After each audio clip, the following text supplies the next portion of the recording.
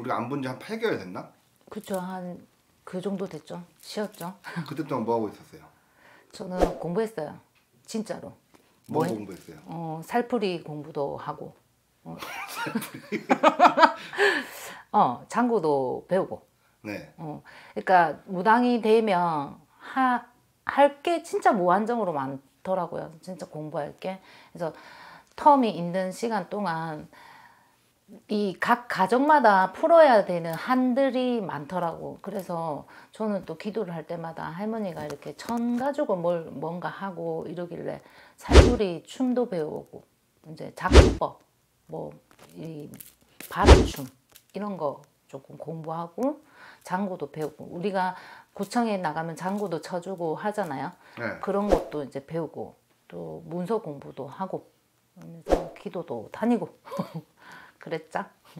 어때요? 무당에 대해 한 8, 이제 몇 년, 됐 1년 됐, 2년 됐나? 2년째 2년이자 어때요? 2년 이 차죠. 년 동안. 아, 저 죽을 뻔했어요. 죽을 뻔했어.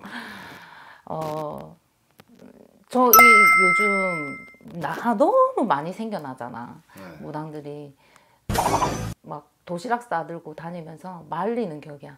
사실 너무 너무 이 외롭고 고독하고 때로는 내가 미쳤나 이런 생각이 들 만큼 힘든 일이니까 결국 막 할머니 할아버지 남들이 일반인들은요 보이지 않는 거를 이렇게 빌어가니까 이해 못할 수도 있, 있거든. 사실 공감대 형성도 안 되고. 네. 통신한다는 이도 닦는다는 거 이건 죽을 때까지 해야 되는 거니까 받아들이고는 가고 점점 가면 갈수록 신이 더 무서워지고 있어. 처음에는? 어 진짜 처음에는 뭣도 모르고 옥수 하루쯤 안 갈면 뭐 어때 이 생각했거든. 근데 하루 안 갈면 막 벌 받을까봐 어, 혼날까봐 막, 막 뛰어 들어오게 되고 할머니 할아버지랑 눈 마주치고 노는 게 제일 재밌어.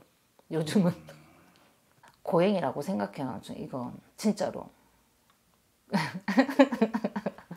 내 고행 겪어가지고 이렇게 바싹 늙은 거 봐봐. 잘 지내셨죠? 영군 TV 많이 사랑해 주시고 또 하영궁도 많이 응원해 주시고 사랑합니다. 영군 TV. 아무튼 뭐 이제 8개월 동안 이제 많은 공부를 하셨다고 하니까 음. 뭐더 해야죠. 계속 해야 돼요 지금. 인간 공부 제일 많이 하지 않았나? 음, 맞죠.